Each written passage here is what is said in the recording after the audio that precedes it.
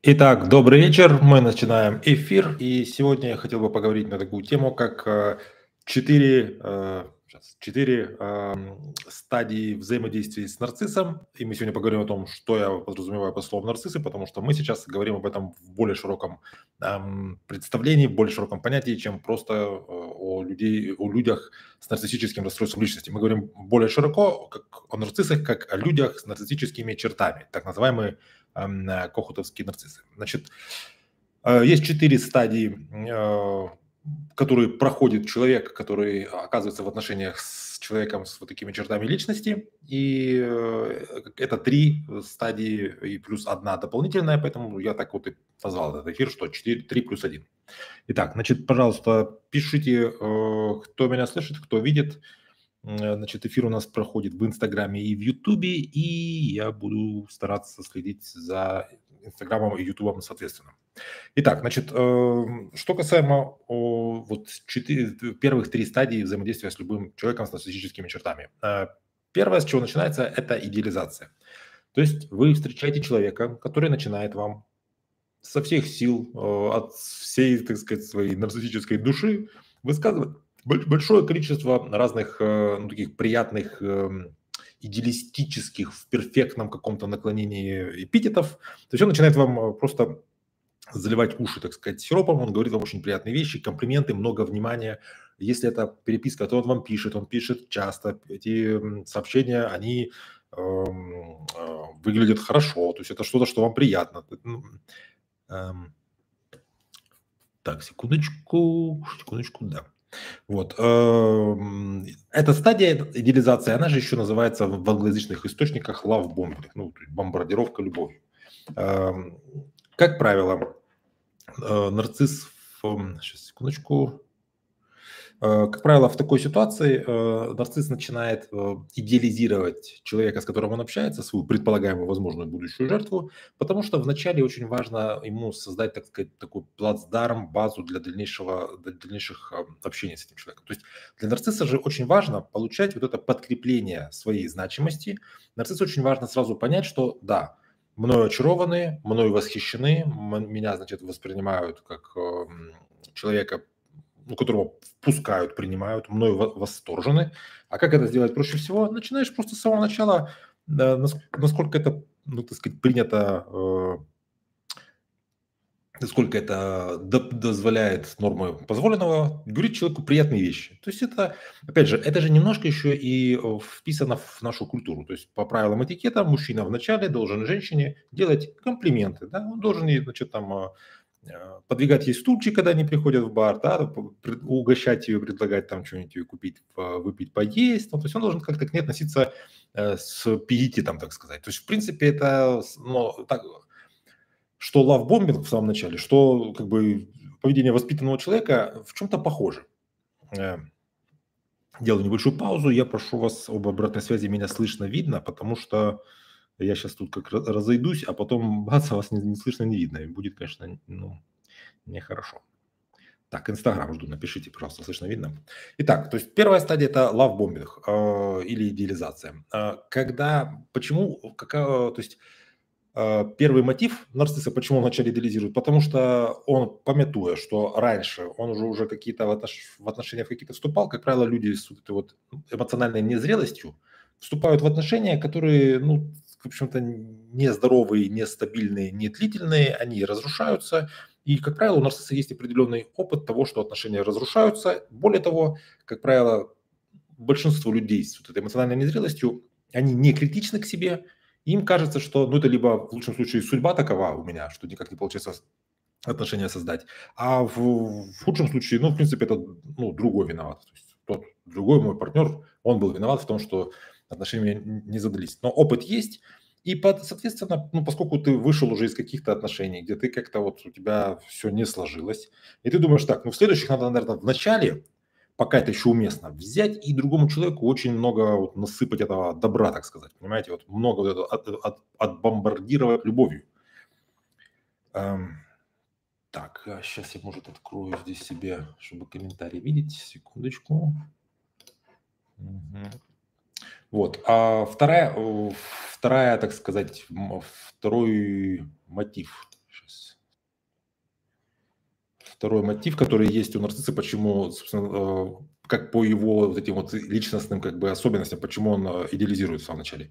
Потому что эм, если ты э, находишься с человеком в, в ну, как это происходит в, в норме, так сказать, в здоровых отношениях. В здоровых отношениях мы, э, сближаясь с другим человеком, про него знаем, ну, например, как вот он выглядит внешне, как его зовут, там, ну, какие-то минимальные данные о нем, и, скажем, мы где-то с ним познакомились, видели, как он себя вел, ну, или нам кто-то порекомендовал. У нас есть небольшое количество всегда информации о другом человеке.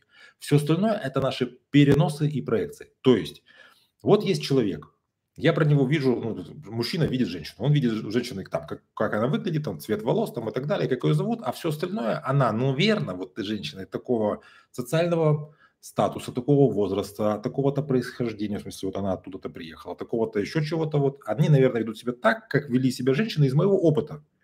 И то есть здесь мы, э, наша психика достраивает все эти белые пятна, нашими проекциями, это то, как я бы вел себя на ее месте, и переносами, как другие женщины, похожие на нее в определенном смысле, из моего опыта вели себя раньше. То есть э, мама вела себя так, другие женщины вели себя так, учительница вела себя так, какие-то другие девочки из моего опыта вели себя так, и это будет, наверное, вести себя, ну, примерно вот, вот в каких-то таких же рамках, она же вряд ли будет вести себя как инопланетянин. То есть как-то вот у меня уже есть какие-то вот, то есть это наши ожидания о человеке, которые говорят, не говорят нам о нем, а которые являются нашим, э, ну, с чего-то надо начинать. В здоровых отношениях, когда ты приближаешься к другому человеку, как только ты начинаешь его узнавать, ты понимаешь, что вот твои эти, ну, как бы, заготовки, они заменяются на, знаете, это похоже на игру в морской бой, когда ты прощупываешь и узнаешь, вот мне кажется, здесь пусто, а там пусто, или там ну, как бы, однопалубный кораблик стоит. То же самое и здесь. Вот ты начинаешь узнавать, что человек, вот он такой, как я о него думаю в этом каком-то аспекте, или, например, не такой. И эта вот работа в отношениях, работа, усилия по построению отношений заключается в том, что мы э, разочаровываемся в собственных очарованиях о другом человеке и заменяем свое, свои очарования на знание о нем, на, на знание о нем реально. У нарцисса это невозможно. Потому что ну, ему очень сложно, понимаете, это же предполагает вот эта работа, она предполагает за, э, затрачивание большого количества ресурсов, которые нарцисс тратит на то, чтобы получать вот это вот чувство, что я окейный, что я, что мне не, не важно, что мне некогда разбираться в тебе, мне важно получить от тебя одно быстрое, короткое, э, мгновенное подтверждение того, что я молодец. Как этот э, анекдот про актрису, когда актриса там что-то о себе, о себе говорила, а потом говорит, ну что мы все обо мне, да мне, давайте поговорим лучше о вас. Как я вам понравилась в своем новом фильме? Понимаете? То есть у нарцисса не хватает сил для того, чтобы в другом человеке разознаваться. Соответственно, если ты про другого человека ничего не знаешь, то ты, э, ну как бы тебе кажется, что другой человек, собственно, состоит, э, то есть ты его не узнаешь, ты, вклад, ты себя, ты живешь в иллюзии, что он такой, как ты о нем думаешь. То есть твои переносы и проекции никуда не деваются от начала и до конца. Получается, что в таком случае идеализирующий э, партнер, ну, человек, ну, в данном случае человек с нарциссическими чертами, он воспринимает другого как таким, каким я хочу его видеть. Вот как образ какой-то, ну, скажем, если там мужчина э, рассматривает женщину, у меня есть образ идеального партнера, идеальной женщины, который, ну, как правило, так сказать, основа это вот образ матери, и потом с возрастом навешиваются, добавляются другие какие-то образы других женщин, и вот, значит, вот, вот, вот эта идеальная женщина, она должна вести себя вот так вот. И, конечно же, пока я вначале верю в то, что она вот идеальная, то мне как бы, в принципе, ей очень легко, органично вот ей устраивать лавбомбинг. Говорить какая ты классная, как, слушай, ты вообще, вот ты вот прям говоришь, как, как, как мне в душу как будто бы заглядываешь, какая ты умная, какая ты красивая, как у тебя голос, какой нерестный, ну, понимаете, вот это все вот восхищение такое и при, при вознесении.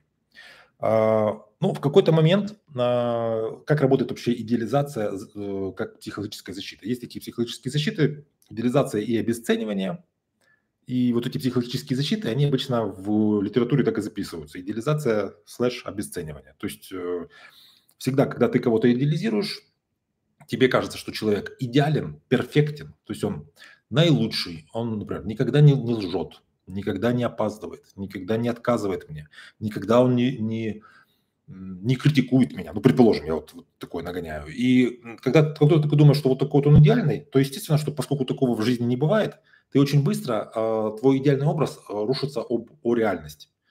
И поскольку ты до этого человека идеализировал, ты думаешь, ну раз ты э, я думал, что ты вообще никогда не врешь, а раз ты вот мне вот здесь соврал, или здесь вот ты как-то вот что-то, здесь ты, не знаю, там опоздал, а здесь ты что-то вот, что-то как-то оказался чуть грешен, значит, я тебя, происходит такой перекос, я тебя из идеализации скидываю в обесценивание. Значит, ты недостоин, ты не, не оправдал мою светлые на тебя высокие надежды. Соответственно, в ситуации с э, коммуникацией с нарциссом, что происходит? Вторая стадия – это стадия э, обесценивания, по-английски devaluation, то есть э, стадия, которая проявляется в том, что если вы со стороны вот, как бы, жертвы нарцисса, вот вам человек написывал, или там названивал, или вообще, в принципе, рассказывал вам, какая вы прекрасная, замечательная, и вообще просто таких людей же больше не существует. Вот он вам все это говорил.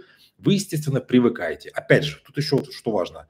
Если ну, пускай для примера женщина, как жертва нарцисса, имеет определенные невротические особенности, у нее, скажем, ну, не было отношений какое-то время, ей сложно сближаться с людьми, ей сложно строить отношения. Тут появляется такой нарцисс. Нарциссы обычно харизматичные, яркие, такие, э, как это, э, с яркими перьями пестрыми. Вот, вот он такой вот, и плюс он начинает же прям вот заливать этими этой лавбомбингом.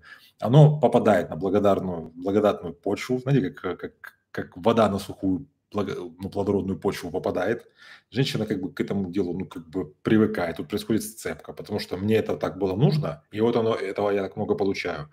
И вот в какой-то момент нарцисс понимает, что я вот только столько, столько, столько много говорю ей, как она для меня важна, но я же, моя нарциссизм мой никуда не девается, мне необходимо подкрепление того, что я вообще важен, что, что за меня вообще, э, что меня кто-то ценит. И в такой ситуации, э, когда вы, например, выходите с ним в контакт, пишите ему или звоните, он говорит, он может вести себя так, что «А что ты пишешь вообще?» Ну, мы же с тобой в пятницу виделись, да, ну давай до следующей пятницы, там, ну, я сейчас работаю, у меня работа. Почему ты, ну, то есть начинается такое вот обесценивание. Ты думаешь, что весь мир должен вокруг тебя э, крутиться. У жертв возникает мысль, подожди, ты вчера мне говорил, что я там послан на тебе судьбой, Богом и так далее, а сейчас такое поведение как бы ну, жертва, жертве непонятно, в чем дело. То есть в, э, инерция как бы ведет в другую ситуацию. Инерция ведет э, к ожиданию, что э, со мной будут сегодня обращаться так же, как обращались вчера, позавчера, месяц до этого. Но такого не происходит, и в таком ситуации что, что делает жертва? Жертва начинает ну, как бы стараться искать контакта с нарциссом, что нарцисс воспринимает как подтверждение своей значимости. Потому что раз она э, так мне пишет, раз она так вот, э, ну, я как бы так ее, ну, как бы веду себя с ней не очень вежливо, немножко холодно и обесценивающе, а она, тем не менее, хочет со мной общаться, то значит, что я не просто важен, я ну, критически важен. И вот в этом месте, конечно, ну, тут возможно такое развилка в этих отношениях. Если эта женщина ну, просто вот как-то вот бывает, мы там познакомим, знакомимся с людьми, и вот женщина познакомилась с человеком, с которым есть нарциссические особенности, ты видишь, что он начинает себя так как-то вести. Ты думаешь, э, ну, ну, странный, ну, ладно, моя жизнь не крутится вокруг него, пожалуйста, если ты, ты вчера ты хотел общаться, сегодня не хочешь общаться, ну, как бы пойду себе дальше. В таком ситуации просто люди, ну, расходятся. Нар- нарцисс не получает э, тот самый важный нарциссический ресурс, который, на который он ожидал, э, он ну вот, вкладывался, вкладывался в этом лавбомбинге, то есть он идеализировал, идеализировал, а потом, когда вот надо проверить, а меня вот так вот, меня считают таким самым важным, самым наилучшим, самым распрекрасным, не чувствуют, не чувствуют, ну, значит, тогда, ну, как будем, печаль, горе, надо искать другого человека. Но бывает так, что если женщина э, имела определенные невротические какие-то особенности, и она уже зацепилась, опять же, помним, что, так сказать, весь этот вот э, павлиний чес оказался, так сказать, к, стол, к, это, ко двору у этой женщины, к месту. Он, э, вакантное получилось э, вот, поведение. А, соответственно, она уже прицепилась, потому что ну, до этого вот я долго была без отношений, тут вроде как какие-то отношения, я чувствую на этой, по сути, как гормональная привязка связана с тем, что меня кто-то ценит, мне кто-то говорит такие вещи, а нарцисс же говорит это, он же идеализирует, а потому что не потому что он хитрый брачный аферист, а потому что он в это верит. Ну, я объяснял, как работает идеализация. Он верит, что этот человек такой же, как вот этот человек является э, как это, особленнем, э, человек является обособлением, э, олицетворением моего образа идеальной женщины. И я, соответственно, ну, смотрю на нее, а говорю себе ей, вот своему этому образу несуществующему, прекраснейшему, наилучшему, какому-то, ну как, это лону. Вот, и, соответственно, а женщина слушает это как серьезные какие-то вещи, она же думает, что это к ней все обращено, все эти вещи. Э, вещи. Если она вот на это, на это цепляется, то потом, конечно же, когда нарцисс начинает вот это вот обесценивать, она, ну, куда деваться? Ну, давай, ну ладно, я давай исправлюсь, может, я как-то себя не так веду, может, я тебя как-то провоцирую, может, в чем-то, ну, то есть чем больше женщина как-то вот так себя ведет в таком, э, так сказать, как это, как сказал бы классик, обратившись в вопросительный знак, тем э, в недоумении тем нарцисс больше, собственно, получает того, что вот я так ее как бы, ну, как бы отбрасываю, так вот ей как-то не, э, не внимательно отвечаю, а она, тем не менее, все же вот ищет со мной контакт, значит, я значим. Плюс тут может быть такая штука, что поскольку нарцисс все-таки, ну, это же не так, что, знаете, нарцисс такой прям человек, желающий всем тотального зла. Это просто нестабильный человек, которому в какой-то момент тоже захотелось получить какого-то вот этого значимости и, ну, по сути, любви извне. И он получает это тем способом, которым он может получать. Он старается вести себя ну, как плохо. Плохо гонять, гоняйтесь за мной. То есть, знаете, как старуха шапокляк. Но вот он получил этого, и опять он немножко возвращается на стадию идеализации. И получается, может быть такая штука, что он чуть-чуть пообесценивал, потом опять бомбит, ну, идеализирует. Пообесценивал, потом опять идеализирует. В такой ситуации вообще вот эта вот сцепка, нарцисса и невротички, ну, то есть э, муж, мужчины, скажем, с нарциссическими чертами и женщины с невротическими чертами, она может так зацепиться, что они там будут, это будет такая древнегреческая трагедия просто происходить, водевиль, вот ну, это такое бывает. То есть э, только он меня начал как бы от, от, ну, он получает от меня ресурс тем, что я за ним как бы, ну, гоняюсь, потому что ну, куда он делся.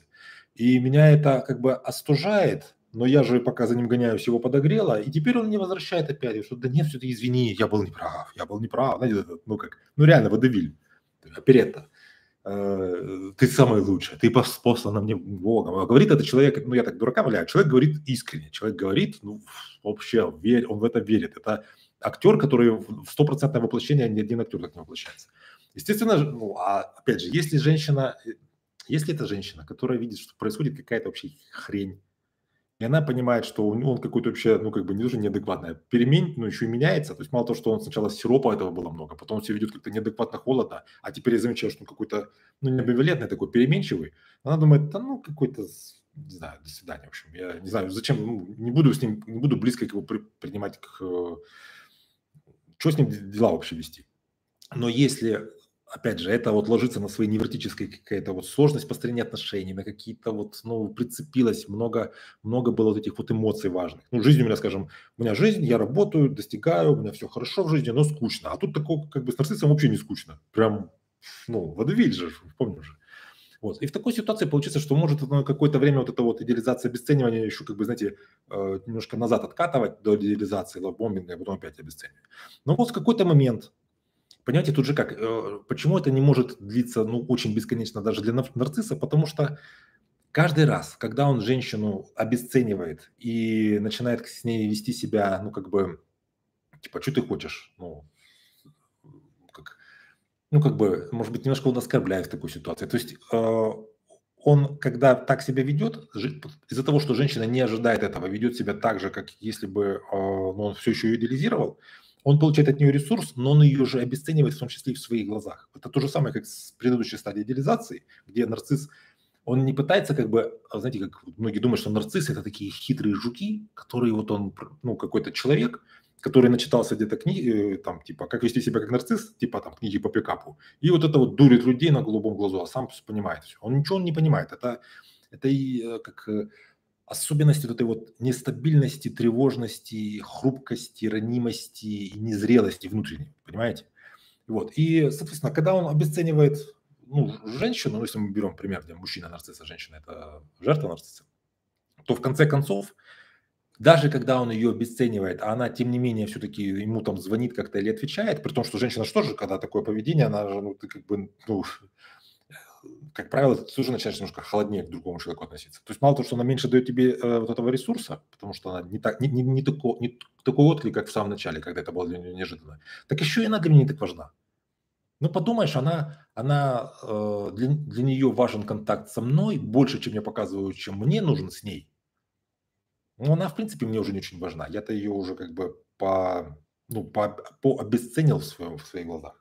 И в такой ситуации наступает третья стадия отношений с нарциссом, стадия э, denial, это или отказ, и еще в, вы можете встретить в нашей, в такой, ну, в русскоязычном а, описании стадия утилизации. Мне кажется, что стадия утилизации это слишком драматичное слово вообще. Вообще э, тема нарциссизма очень, э, как бы,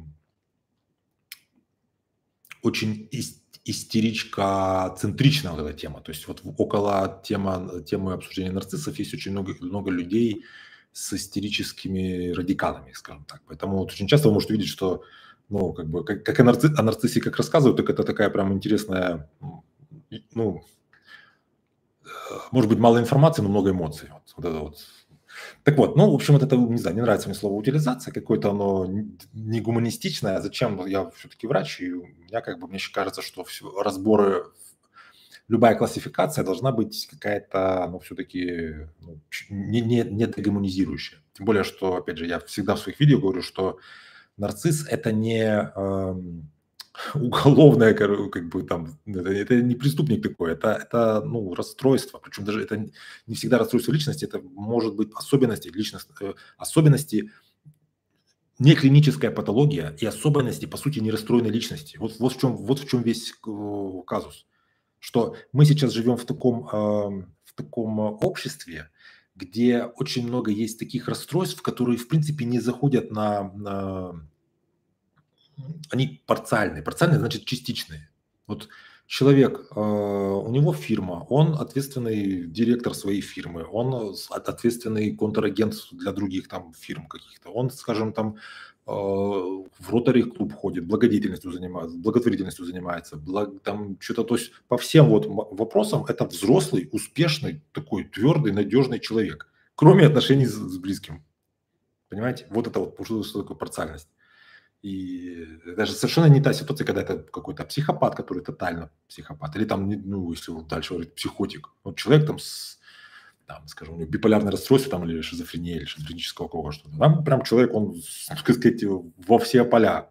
А здесь вот такое-то ну, изолирование. Ну, в общем, значит, когда нарцисс, вот уже это и в ходе обесценивания, э, он дообесценивался, ну, мы берем такую классическую, все-таки эпидемиология нам говорит, что людей с нарциссическим расстройством личности, ну и будем так говорить, что, наверное, с нарциссическими чертами мужчины чаще встречаются. Ну, у женщин чаще истерические э, расстройства личности и черты, у мужчин нарциссические. А если говорить о, нарцисси... вот, о нарциссизме как о эмоциональной незрелости, здесь, конечно, ну, в, целом она это часто встречается вообще у, у, у людей. Но вот если говорить о, о таком классическом разбираемом примере, когда мужчина нарцисс, а женщина, его женщина – это его жертва, то в такой ситуации, когда вот он уже ее дообесценивался, он происходит вот это вот, ну, утилизация, не нравится мне это слово, или отказ отказ такое слово более сухое, но оно более, мне кажется, более правильное.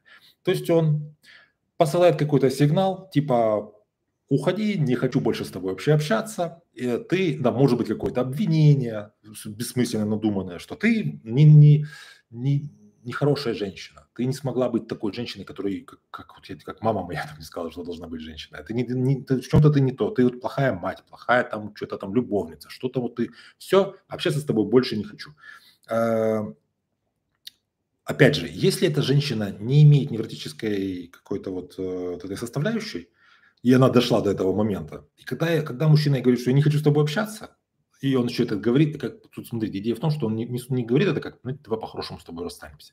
Он говорит это так, чтобы ты ее еще раз уколола, унизила, чтобы он, ну, как бы в последний раз хотя бы получил вот эту последний такой э, глоток вот этого нарциссического ресурса. Это как, знаете, выдавить тюбик. Ты его так выдавливаешь, в последний раз зубы почистить, когда уже этот тюбик потом уже формы никакой не имеет. Тут вот не надо так отказать, так вот тебя как бы столкнуть с, в, в пучину отчаяния, чтобы я почувствовал, что э, от твоих отчаянных криков я почувствовал, насколько хоть все уже прошло, но насколько ты жалеешь о том, что все-таки что-то не получилось. Но опять же, такое немножко драматично.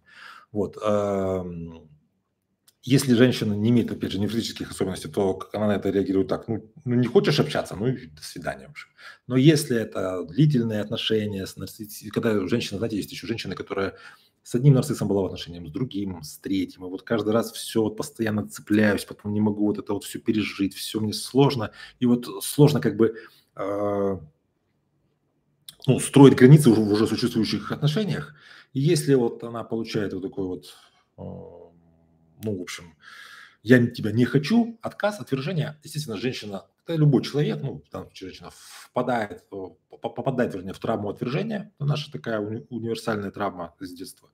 И тут какая происходит штука, что в отношениях в любых, вот есть два человека, один человек в отношениях, для него больше важны эти отношения, а значит, второй человек в этих отношениях более важен, он э, более, ну, как бы руководит, что ли. У нас есть такое вот убеждение, что если я, например, начинаю тебе говорить, слушай, давай с тобой встретимся, то это означает, что мне нужны, больше нужны эти отношения, значит, это означает, что второй человек более ценен, понимаете?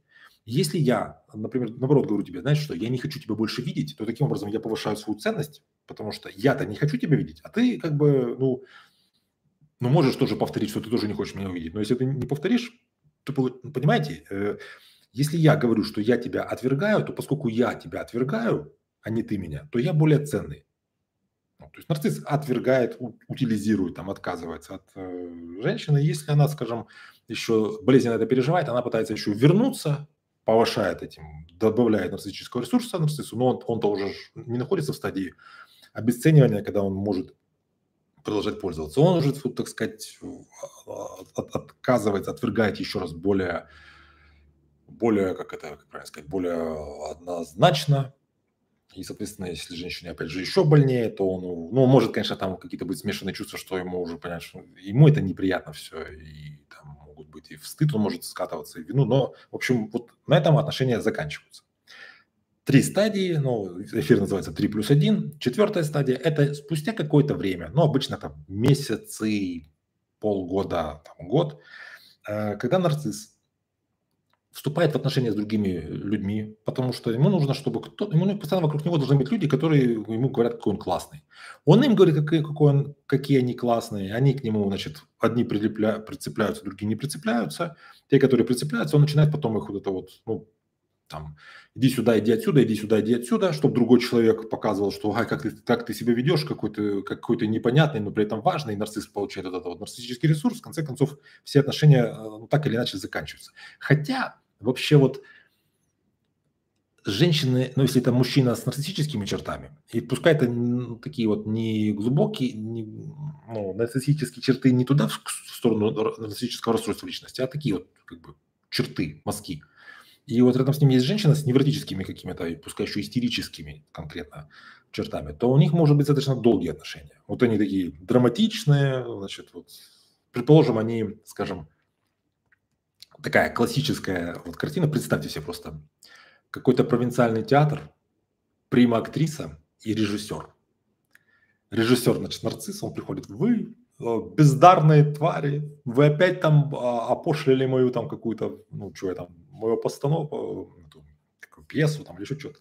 Вот. А актриса, она, а, там вот наш, наш режиссер, там вот я, ну, в общем, то есть вот, если вы себе это представите, Э, есть несколько, я забыл, это у произведения литературное есть, там очень хорошо это описано. Вот себе это если представить, то вот можно себе примерно представлять, как, вот, как это может быть в реальности. Ну, то есть без, без э, художественного как бы приукрашивания, ну вот как это может выглядеть. Так вот, э, э, но, как правило, все-таки э, долго женщина не может находиться рядом с нарциссом, потому что, собственно, вот эти три стадии приходят к тому, что он должен от нее потом отказаться. Он, он сам выходит из этих отношений он в отношениях, он у нас, у людей с условно здоровой психикой, с зрелыми взрослыми отношениями, да, мы стараемся построить такие отношения, которые должны самостабилизироваться за счет того, что мы хотим счастья. Счастье, оно ну, не то, что универсально, но оно очень, очень понятно. То есть людей в разных культурах, в, разных, в разные времена, в разного возраста, все-таки понятия счастья, основные человеческие ценности, они универсальны. Если два человека не, преодолевают невротические какие-то препоны, то вот они формируют в отношениях, где постоянно работают в этих отношениях, но у них какое-то есть общее счастье. А у нарцисса получается, что ему нужен другой человек, чтобы его как бы вот взять, и вот как енот полоску сахар выполаскивает, тут просто вот его не человека, а отношения эти, чтобы их, их закончить и начинать новые отношения. И вот когда он, ну опять же, поскольку нарцисс же, как правило, это человек, который живет все-таки в каком-то реальном мире, а мы в реальном мире же не имеем возможности, ну прям можно, конечно, там в большом городе жить и на сайте знакомств постоянно знакомиться, но, как правило, ты в какой-то момент ты как бы уже исчерпываешь какой-то вот возможный ресурс в других людях. И в таком случае бывает так, что нарцисс начинает вспоминать, а как там моя вот та вот, которая полгода назад мы с ней, я ее, так сказать, вот этот, про, про, провел с ней вот эту вот э, идеализацию обесценивания и отказ. И в таком случае может быть вот эта четвертая стадия пингования. Опять же, если э, женщина, та вот, ну, женщина, иногда бывает, что это мужчина и женщина, наоборот, в смысле, или там, ну, если, короче, жертва, э, если жертва не пережила эти отношения, все еще вспоминает, как оно было, плюс все плохое забылось, а все хорошее какое-то, особенно все связанное с эм, привязанностью вот этой вот такой немножко болезненной, оно остается, то, естественно, этот пинг приводит к тому, что эта фаза пинга, ну, он появляется, нарцисс, и поехали, привет опять. Лавбомбинг, он начинает идеализация, она вспоминает, как это было тогда-то, я так это ждала, сейчас я опять это получаю, и потом все идет по следующему кругу. Если, скажем, это, ну, она как-то пережила и поняла, что это все шляпа, то, естественно, это пингование это приводит к тому, что до свидания, не звони мне больше. Ну, или там, скажем, он какое-то время ей названивает, названивает, она отказывает, отказывает. Ну, четвертая стадия такая, это стадия как бы такой пост, постфактум, такой постконтакт. Итак, эм, вот в основном, что я хотел сказать теоретически. Теперь я секундочку постараюсь ответить на комментарии. Уж не знаю, насколько у меня получится, потому что мы сегодня и в Инстаграме, и в Ютубе, и в Инстаграме мне надо будет как-то увеличить. Сейчас смотрим, смотрим. Так, вот там что-то, видимо, присоединялись, присоединялись. Этот шрифт немножко О, в Инстаграме. Либо я... А, вот нет, есть какой-то комментарий. Сейчас я попытаюсь прочесть. Так все и было. Полное... Так, сейчас надо увеличить. Так все и было, пишут в Инстаграме. После лавбомбинга пропал. А, было больно, так как э, привязалась. Так, ну понятно. Ну, в общем, согласны. И пока больше комментариев нет если... Я в Инстаграме, в общем, насчет Инстаграма, э, я потом настрою немножко по другому шрифту. У меня так получается, что буквы друг на друга навешиваются. Я вижу в основном сообщение о том, что человек присоединился, вижу сообщение, что слышно, но вот из комментариев один только. Так, смотрим YouTube теперь, что у нас тут. Так, значит, здесь у нас уже происходит диалог, как часто бывает, э, где одни подписчики друг с другим подписчикам что-то ну, отвечают. Я сейчас смотрю, Евгений, спасибо. Очень понятно рассказывайте, пожалуйста. Да, это, кстати, спасибо, что, что ну, обратно, за обратную связь. Так, так, как вам Как вам отправлять донаты? Ссылка помощь на карту. Да, к сожалению, не работает. Сейчас а, помощь на карту. Я, наверное, надо будет составить, собственно, номер карты. Да, там не работает это вот донат. Так, я перенастрою. Да, нет, утилизация – это именно то слово, э, кто прижал, тот поймет, вот пишет Юлия. Он просто берет и выбрасывает тебя так, словно ты мусор какой-то, и вообще Э, кто-то такая, собственно, хотя вчера все было хорошо. Да, понятно, что, ну вот, смотрите, утилизация – слово, которое э, по своей образности, по своей импре, экспрессии, да, или импрессии, там, оно подходит. Но мне не нравится это слово, потому что оно предполагает, э, ну, оно не, не, не гуманистичное, это слово. Не может один человек утилизировать другого. Поэтому же я и говорю, что я, я все-таки это слово использую, я говорю, что вот с точки зрения, когда ты первое лицо, по отношению к которому, которое ты переживаешь, ты это воспринимаешь как утилизацию. Но я бы хотел все-таки, понимаете, если мы будем применять слово утилизация, которое само по себе очень эмоционально, мы будем э, о людях с нарциссическими особенностями э, говорить как о таких нечеловеческих животных и злодеях, то мы потеряем ну, всю канву отношений. То есть, во-первых, тогда возникает вопрос, что тогда с животным вообще что делаешь? Выйди из зоопарка, войди в мир. То есть, понимаете, тогда это немножко еще и как бы не, а, не совсем понятно, что, что тогда происходит с позиции с жертвой э, человека. То есть мне, мне слово жертва не очень нравится. Но вот. Поэтому я стараюсь показать, что это такой вот процесс, который ну, имеет свою механику, имеет свою логику, чтобы в том числе человек, который оказывается в такой ситуации, ну, как вот напротив нарцисса, чтобы он понимал, что, о, что он может в этой ситуации изменить. Что он может изменить с тем человеком, с нарциссом, что он не может изменить, что он может изменить с собой. То есть, понимаете, вот э, когда мы говорим об идеализации, я объясняю, почему вот про образ идеального партнера, об обесценивании и вот это переходе из обесценивания на идеализацию обратно, и об вот этом отказе, то чтобы вы понимали. Потом, опять же, отказ, утилизация, а вот когда ты жертва, ты себе, вот, опять же, это, это немножко разгоняет э, жертвенность то есть часто люди, которые пережили вот этот нарциссический абьюз, отношения с нарциссом, а они в этом застреют и, и живут как будто в таком своем, как бы, типа, как, знаете, вот вьетнамский синдром, афганский синдром, синдром посткомбатанта. То есть отношения уже закончились, а ты живешь в этой непережитой травме, и, и мало того, что ты не можешь построить новые отношения, естественно, потому что ты во всех видишь этих нарциссов. Мало того, что ты не можешь жить спокойную жизнь, потому что ты, э, ну, как бы, ты отвергнута а, скажем так, оскорблена и не отмщена, так ты еще ищешь кого-то, то есть ты неспокойно ищешь кого-то, кому отомстить. Отомстить можно только тому, которого уже нет, соответственно, кому, любому, кому ты бы ты не отомстила, ты, значит, э, ну, ты перед ним будешь виновата, потому что это, ну, месть это когда ты возвращаешь агрессию, а не когда ты даешь ее кому-то другому.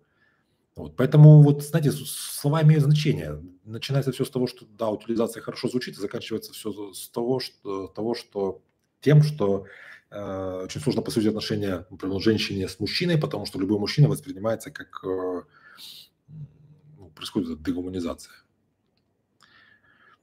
Так. Э,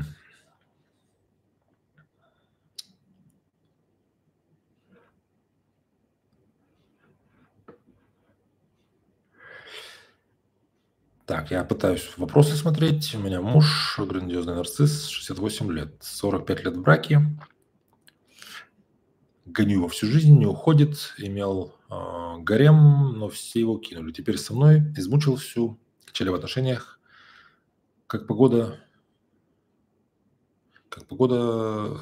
Сидин хороший зав. Прервалось сообщение. Ну, сейчас я пытаюсь смотреть, есть ли здесь вопросы какие-нибудь.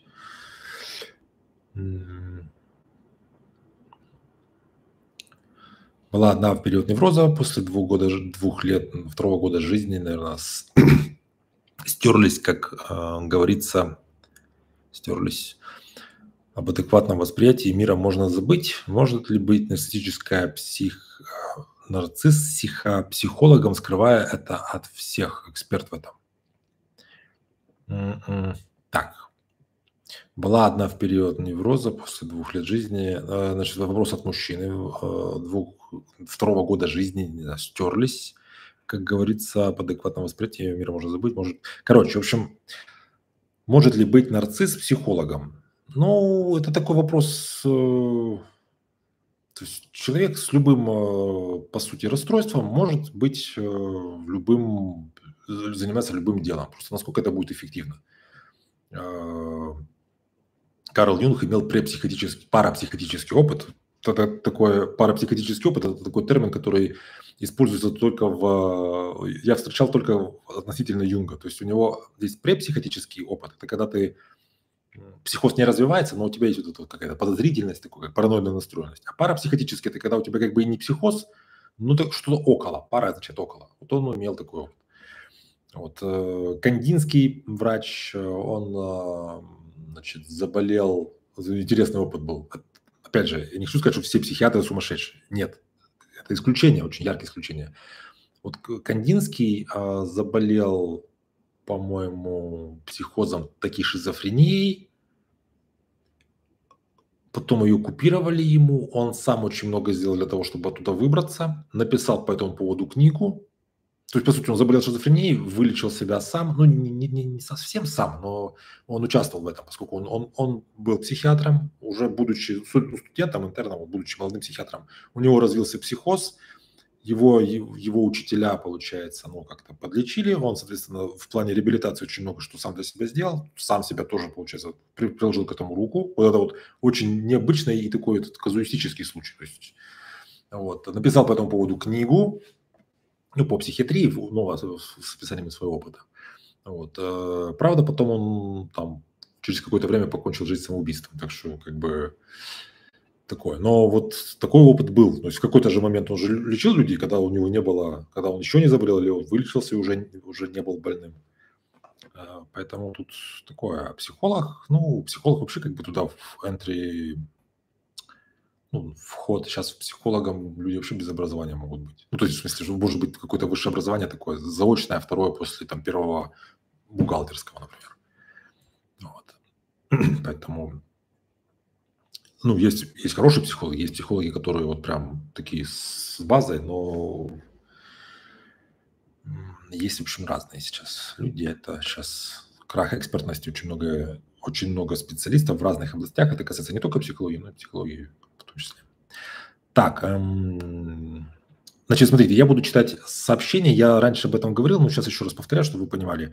Если я что-то говорю, вот я ранее говорил что-то в своей лекционной части, и вы где-то взяли и э, решили написать какой-то комментарий, типа, да-да, я вот согласна, точно так, так и было, у него так и было. Когда я прочту этот комментарий ваш, я, естественно, буду не понимать, к чему вы его написали. Поэтому, если вы хотите, чтобы я отвечал на ваши, комментировал ваши комментарии или отвечал на ваши вопросы в комментариях, то пишите их так, чтобы они имели, ну, как бы начало и конец. И плюс вы еще замечаете, например, вот в Ютубе, в Инстаграме, сейчас я смотрю, в Инстаграме тоже сейчас появились, сейчас постараюсь почитать. Ой, в Инстаграме много, много пишут, а я, к сожалению, тут вот буквы такого размера. То есть старайтесь писать так, чтобы ну, вопрос был понятен, даже если я его читаю немножко позже, когда я добираюсь до вашего сообщения. Так, після закінчення подібних відносин пройшло 6 років, і він досі свої обраниці постійно згадує і порівнює з передньою. Чому і як це пояснити? Дякую. Uh, ну, вы немножко так написали в третьем лице, то есть прошло 6 лет этих сообщений, и он своей избраннице до сих пор говорит, а вы кто? То есть вы откуда знаете, что второй человек говорит третьему человеку? Если вы про, себя написали, что он мне до сих пор это напоминает, тогда как бы было бы чуть более понятно. Так оно всегда, когда ты говоришь про... То есть я сейчас комментирую вам третьего, четвертого человека, это так ну, это очень непрофессионально и так не, не сработает.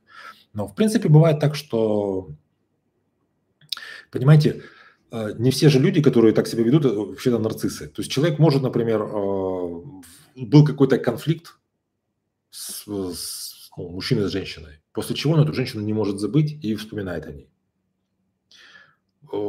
Конфликт же бывает не всегда, потому что у человека есть эмоциональная незрелость какая-то частичная, а потому что, предположим, ну, люди, скажем, просто не сошлись, но при этом они разошлись плохо.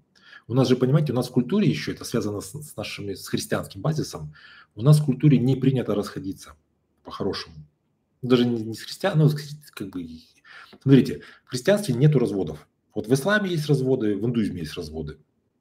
Нам на кафедре так и говорили, что в исламских, в культурах, ну, таких исламских и околоисламских, с исламским базисом, там люди легче переживают развод. Потому что развод там в Коране вроде как как-то описано, в какой ситуации, по какие, как это вообще устроено. В, в нашей культуре, ну, которая основывается на христианстве, э, ну, предполагается, что, как в сказке, знаете, они женились, жили долго счастливо, умерли в один день. То есть только смерть разлучит их. А если они расходятся, то это как это? Ну, не предписано. Поэтому часто бывает так, что ну, люди расходятся так, как будто бы, знаете, вырвать этого человека из своей головы, то есть как будто бы его нужно удалить. То есть, понимаете, если я вдова, ну такая, не настоящая, но вот если я его как бы для себя убила и больше никогда о нем думать не буду, то тогда я как бы вдова. А если я с ним разошлась и встреч, по улицам хожу, продолжаю встречаться, привет, типа, бывший мой, то бывший как бы это что? Что это за статус? У нас это ну как бы не... Ну представьте себе, 200 лет назад там люди жили в каком-то селе, вот там церковь деревянная, поля, там избы, я не знаю, что там еще, церковно-приходская школа. Утром просыпаются все, идут там коровы, там эти курицы, там пашут поле, э, вечером приходят, значит, в воскресенье, значит, выходной в церковь. И вот в такой ситуации мужчина и женщина, они встретились, начинают рожать, детская смертность, надо родить 12 детей, чтобы 8 из них выжило, потому что 8 детей должны работать в поле. Вот за это время как о каком там разводе вообще идет речь. Ну, женщина, дай бог, чтобы она там ну, не умерла во время этих родов всех, или от какой-то тифа, от сифилиса, от всех этих эпидемий, от, ну, от, от, любого, от, от голода, от чего угодно. Вот, поэтому идея развода, она как бы у нас, понимаете, она и вот на вот таком высоком уровне культуральном, ну, на, на, на уровне предписания христианском, как бы не располагается. И, в принципе, раньше, ну, не, как-то не до того было. Жизнь такая была, что люди не... Там, или, скажем, в советские времена, например, а, выдавали квартиру молодым студентам, которые как-то там женились, детей себе на ненужных им детей сделали, но дети нужны, чтобы получить формально квартиру. Им выдали квартиру где-нибудь в советской новостройке, и все, куда вы, куда денешься? Да, ты, ты можешь на, заработать на новую квартиру. Нет, тебе вот выдали, потому что ты такой хороший, и все, больше тебе никто выдавать ничего не будет. И люди жили, как бы там были все эти любовницы, любовники, советское понятие, любовница, любовник, как, как э, ну, вообще любовница любовник – это человек, с которым у тебя любовные отношения. Но в нашем понимании, в постсоветском, это как бы такой запрещенный, связанный с изменой. Постоянный, то есть свидетель твоей перманентной измены твоему основному партнеру, с которым ты находишься. Почему? Потому что на заводе не знали, что, что ты взял и развелся. Или развелась. Ну, ладно, короче, в общем, ладно.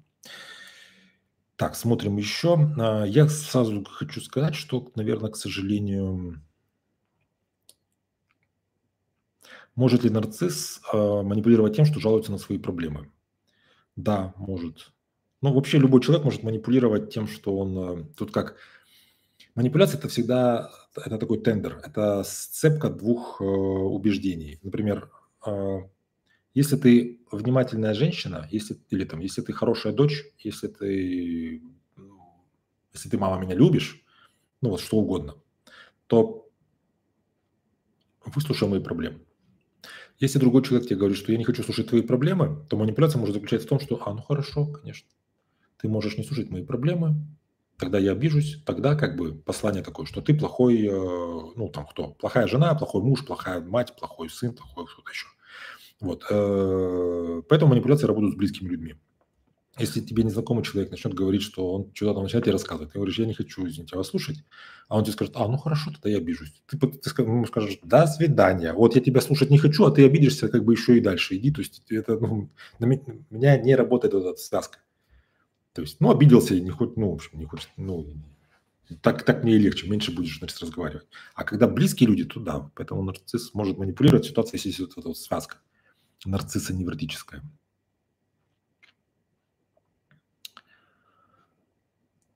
Так.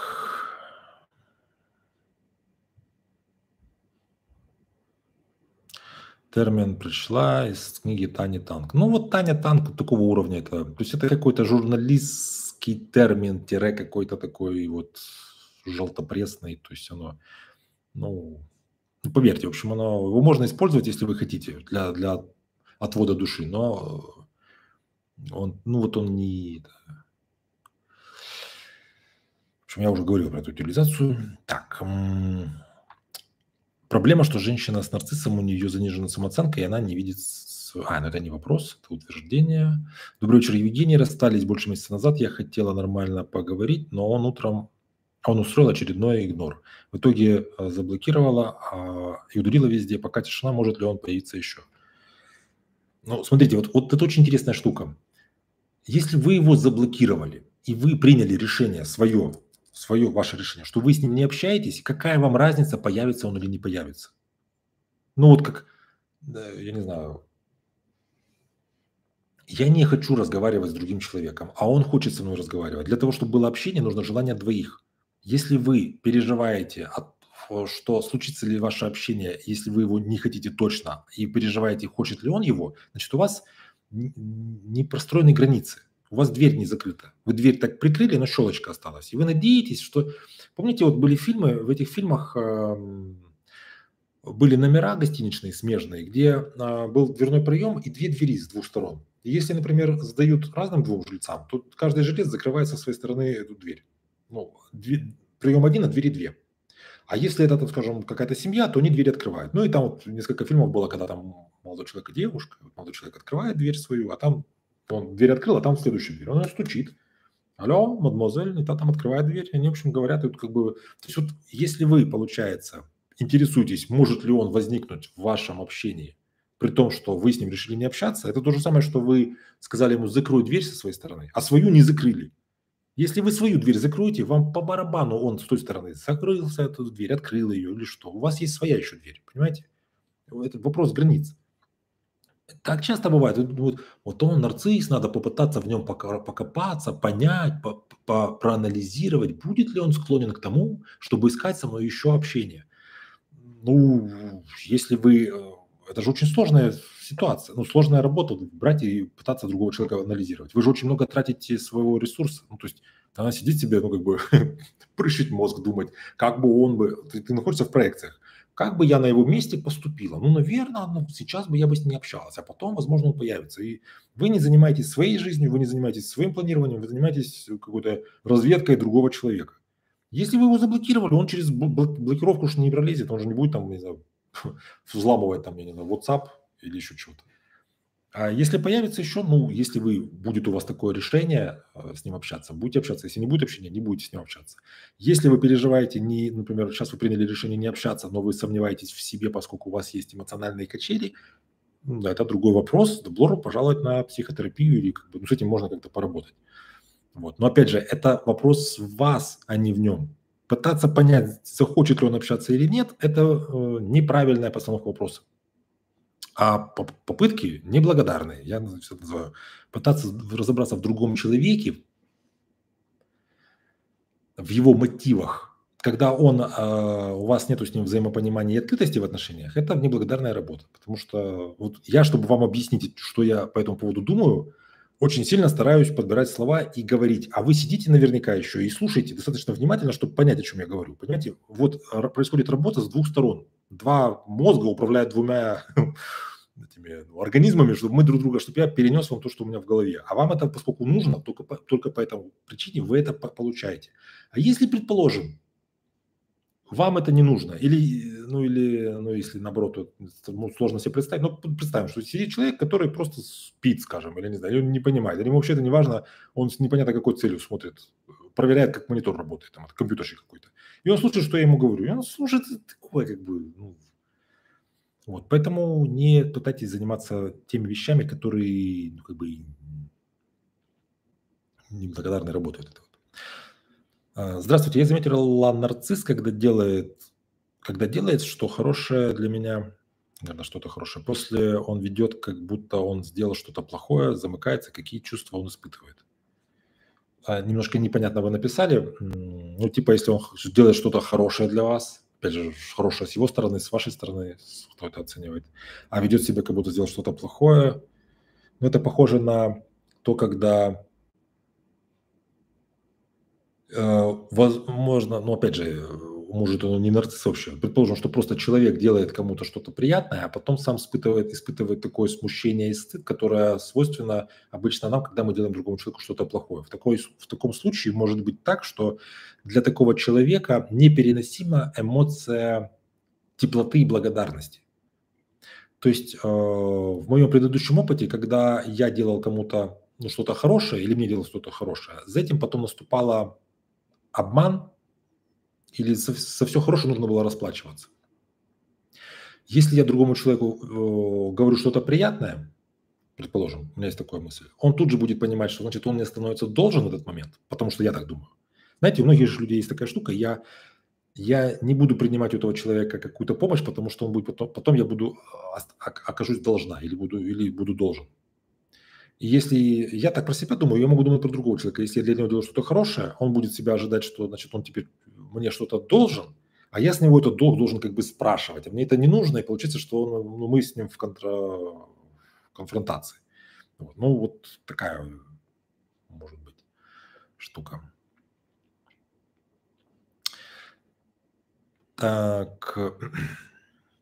Не часто есть возможность посмотреть ваши ролики. Спасибо вам за ваш труд, но всегда очень приятно слушать коллегу-профессионала, который говорит доступным языком. Спасибо. Спасибо. Это, значит, Ирина... Ирина сказала так. Эм, комментарий это другому. Сейчас еще после нескольких лет э, жесткого абьюза может ли у жертвы развиться тревожное или какое-либо еще расстройство? Кто его может диагностировать? Ну, а, у меня был пару дней назад в Фейсбуке эфир по, по, по абьюзу. Э, абьюз э, – это все тоже журналистский термин, это не медицинский термин. И, в общем-то, мы там говорили, и я договорился до того, что ну, абьюз в целом это как перманентное псих, психологическое насилие. То есть это психологическое насилие, причем не единомоментное. Если ты зашел в маршрутку, тебе послали куда-нибудь там, то это как бы, ну, это можно сказать, что это абьюз, но это не совсем абьюз, это просто акт вербальной агрессии. А если ты находишься в отношениях с человеком, который тебе как бы, постоянно, если тем более близкий человек, то тогда вот это абьюз. А, да, может у человека развиться тревожное расстройство, возможно, как следствие того, что я как бы не могу себя защитить, и у меня возникает чувство не, ну как,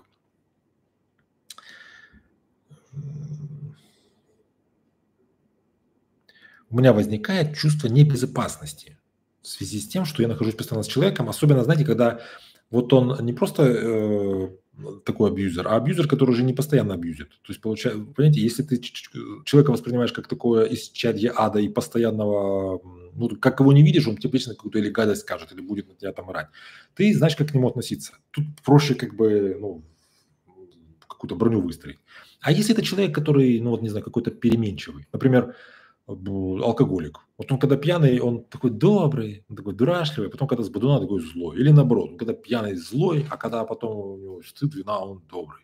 И, ну, а представим, что это не алкоголик, потому что, ну, по, по алкоголику ты как бы понимаешь сразу, а какой-то вот человек, который вот у него, когда там перемыкает, ну, вот он, скажем, в разных каких-то он фазах своих, и ты не, не знаешь, чего от него ждать. Да, тогда может быть у тебя может быть вторичное чувство, э, как бы от того, что ты находишься в, в, общ, в обществе такого человека, у тебя чувство не... Э, тревога, повышенная тревога как способ такой защиты срабатывает, ну, может быть, расстройство. Ну, но диагностировать вообще, если так как вы пишете тревожное прям расстройство, ну, конечно, психиатр такие вещи диагностирует в норме. Как это у нас, это уже такое дело. У нас, я имею в виду, что у нас и психологи этим занимаются, и невролог это может, и семейный врач там диагностировать. Правильно, конечно, к врачу лучше. Так. Могут ли жениться два нарцисса или на клубе есть место только для одного? А, могут, если вот говорить о нарциссах как о людях с не, парциально незрелой эмоциональной, парциальной эмоциональной незрелостью личности, то да, могут. Чаще, конечно, но опять же, это такое, э, это, понимаете, мы сейчас говорим так в общем. Но если все-таки говорить в общем, и так, чтобы это было красиво, э, то чаще можно себе представить картину, это мужчина с нарциссическими чертами и женщина э, с невротическими, в частности, с истерическим радикалом. Вот это у них очень будет комплементарная такая пара. Вот. Так, чтобы это был, ну, как вы так написали, женятся ли два нарцисса. Типа это два мужчины, что ли? Ну, кстати, может быть, среди геев э, там можно себе представить двух таких нарциссов, они вот там как-то поженились. Но если говорить вот о э, мужчине и женщине, э, может ли пожениться нарцисс с женщиной-нарциссом? Да, скорее всего, нарциссизм женщинам ну, не так как бы... У женщин могут быть нарциссические черты, в широком смысле, то, что мы говорим. Но если говорить прямо так, что это нарцисс, это все, что, вот эта женщина, она нарцисс вот в, в перво, так сказать, первоисточнике, то это не, не так часто бывает, как с мужчинами. Вот так. Так, э, я стала пограничницей после нескольких таких отношений, э, сложно уже представляю другие. Пограничницей. Ну, смотрите, пограничница, если вы не пошли на границу служить, то э, есть тут два понимания. Есть пограничная организация личности по МакВильямс. Э, считается, что есть три организации личности. Психотическая, пограничная и невротическая. Здоровых людей нет. То есть, ну, условно говоря, максимально близкие к здоровью – это люди с невротической организацией личности, то есть невротики. Что не соответствует такому классическому психиатрическому пониманию и даже неврологическому, где невроз – это не, не нормальное состояние человека. Невроз – это, ну, как бы патология.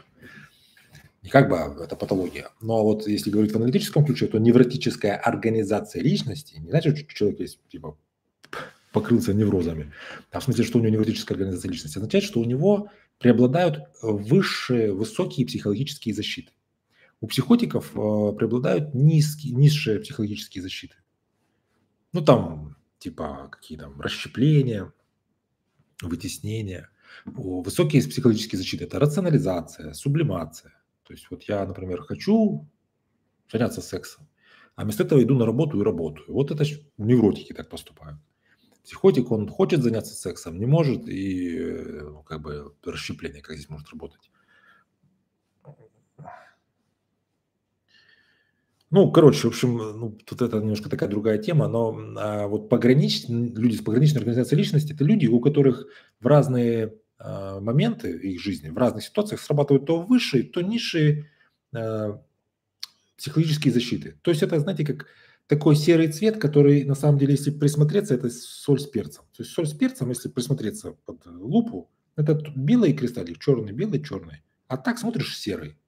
Поэтому то, что вы стали пограничницей, э, да, а есть еще, ну, пограничница еще можно воспринимать как э, человек с пограничным расстройством личности. Э, идея в том, что пограничный кома или цей ни в том, ни в другом смысле стать нельзя. Какой-то организация личности есть, такая есть, ну так, чтобы человек из невротической организации личности перешел в пограничную, ну, это надо, надо себе подумать и такое представить, как это, в каких ситуациях что это, может произойти. Как правило, люди ну, вот из пограничной могут в невротическую перейти в ходе там жизненных каких-то перипетий, какого-то созревания, психотерапии, роста э, психологического. Это, да, это можно себе представить в какой-то степени. А, пограничное расстройство личности, как и все расстройства личности, оно, ну, как психопатия, тотально, э, какие там триада Ганушкина, тотально стабильно и забыл уже. Ну, в общем, смысл в том, что оно тоже, оно не, им нельзя заболеть, и от него нельзя вылечиться. Ну, в общем, это как э, особенность Конституции. Поэтому, может быть, не может быть, а 90, я не знаю, сколько из 100, что вы немножко себе накру... не накручиваете, а берете на себе лишнее. Ну, либо, может, у вас какой-то э, термин пограничница в, в каком-то не, ну, неизвестном мне смысле вы э, как бы используете. Вот. А то, что можно, а то, что могут, так сказать, э, ну, грубо говоря, нервы расшататься от таких отношений, это да, согласен. Так, на тему абьюза, обесценивания. После спокойно может быть выучена беспомощность. Сбой после дамы был э, колоссальный, порой даже запах эмпатии нет. Все гонят к неврологу, но не, не знаю, осилит ли объем всего. Да. Это не вопрос, поэтому я... Так, хорошо, будем уже заканчивать потихоньку. Сейчас я еще тут посмотрю, если тут какие-то... Сейчас я в Инстаграм посмотрю. В Инстаграм я буду решать вопрос, как сделать так, чтобы в Инстаграме как-то можно было читать комментарии, потому что здесь много комментариев, которые я не смог прочитать. Расскажите, пожалуйста, про пограничное расстройство личности. Ну вот ты только что немножко рассказал об этом, но это, конечно, надо отдельно. Я сейчас уже не расскажу. Тут так в двух словах не скажешь.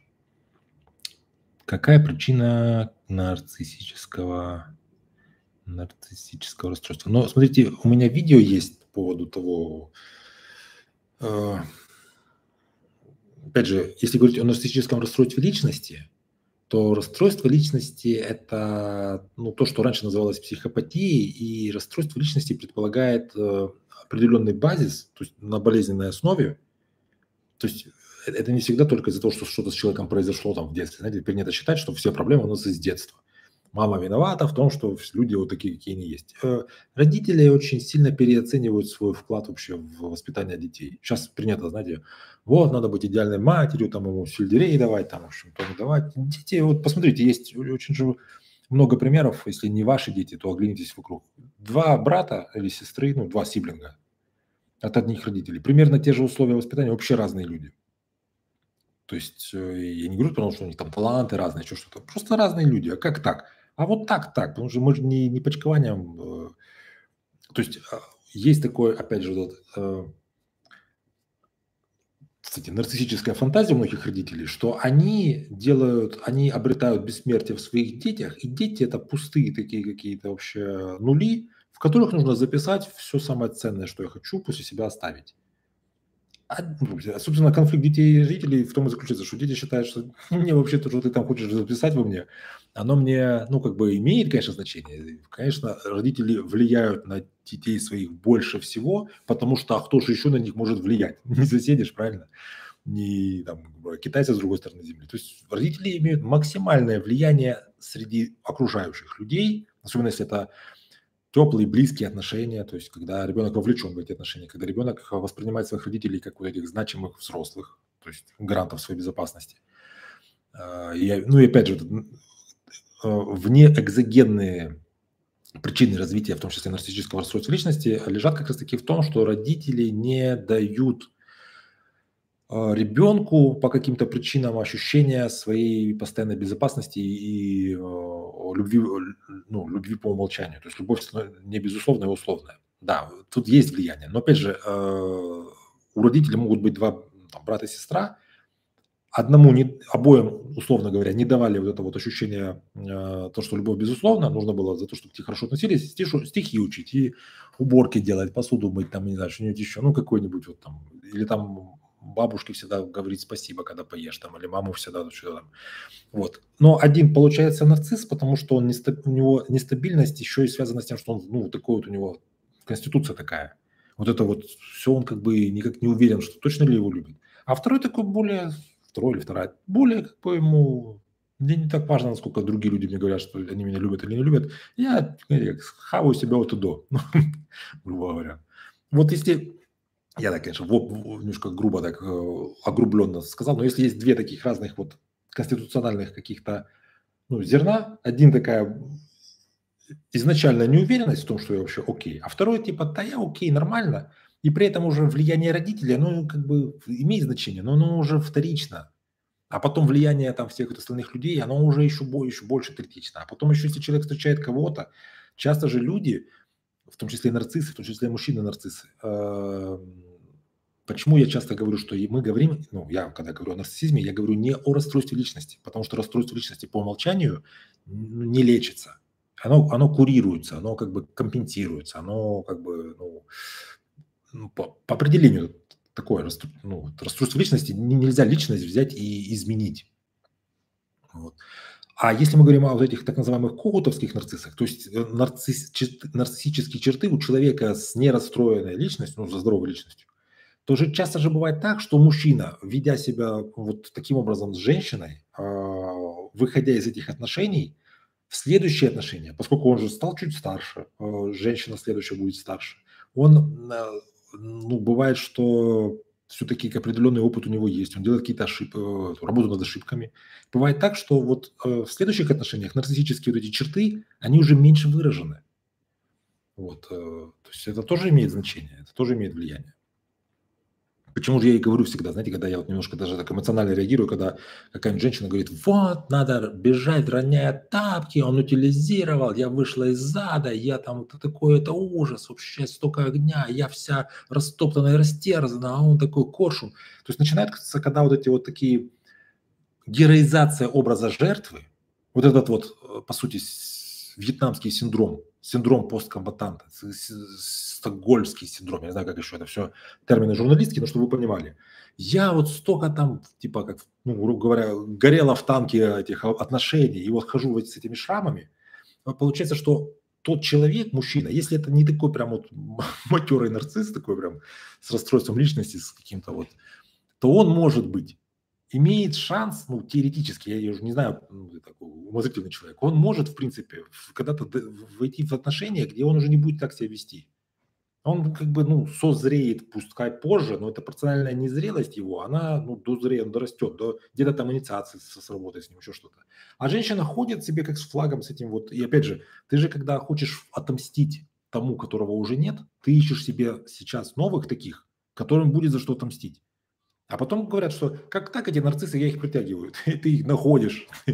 Ты пойди вот на улицу, э, ну вот я так, ты это, условно говоря, какой-то человек, пойди на улицу, найди мне, пожалуйста, там пять психопатов, там, или, скажем, или, ну вот, у меня было четыре там отношения за последние, там, год, э, и все четыре были нарциссы. Как так можно было, так совпало? Ну, понятно, нарцисс это не так, что прям, знаете, какая-то такая редкость, единорог. Но, в принципе, ну, четыре подряд как? То есть, ну, просто в рулетку кинь и выбирай рандомных вообще людей. Так они не будут там четыре нарцисса. А ты нашла их четыре. Как так? Ну вот, вот, вот так вот. Поэтому я говорю, что да, утилизация это вот если бы вы были бы, мне еще часто начинают говорить, вот вы не были просто в отношениях с нарциссом. Э, ну, ты надо выбрать. Либо ты, значит, всю жизнь будешь э, нести с собой этот, вот, эту войну, которая уже отгремела, либо надо, ну, то есть лучшее, что можно сделать с нарциссом, это его отпустить. Понимаете? Вот показываю еще раз. Вот отпустить. Как этот в фильме «Команда». Где-то что ты с ним сделал? Я его отпустил. То есть вот, вот это максимум, что вы можете сделать. А вот это да, найти его, отзеркалить, сделать ему больно, сделать, чтобы он жалел, сделать он... Ну, если это человек реальный нарцисс, ты никогда его не пере... Ну, я, смотрите начало, начало видео, начало эфира. Все, что ты делаешь для него, повышает его нарциссический... Это, это нарциссический ресурс.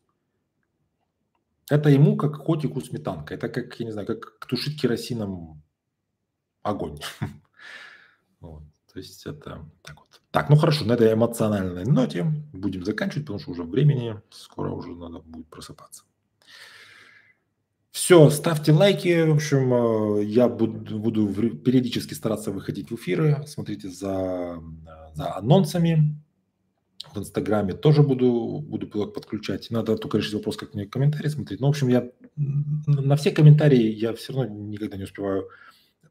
Смотрит меня, получится, сейчас в Инстаграме 242 человека в Ютубе и 31 человек в Инстаграме. Ну, в Инстаграме меньше, но в Инстаграме, в принципе, у меня меньше.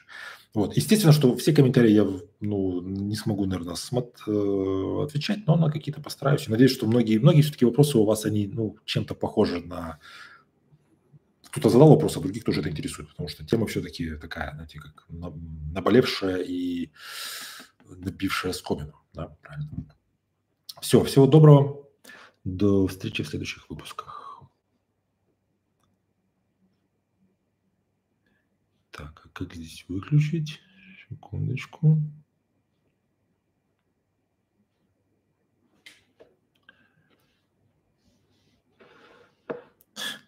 Сейчас. Все, пока-пока.